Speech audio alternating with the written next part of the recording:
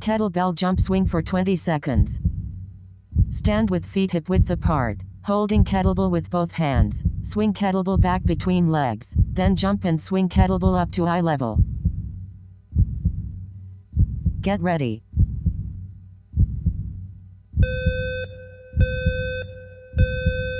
Begin.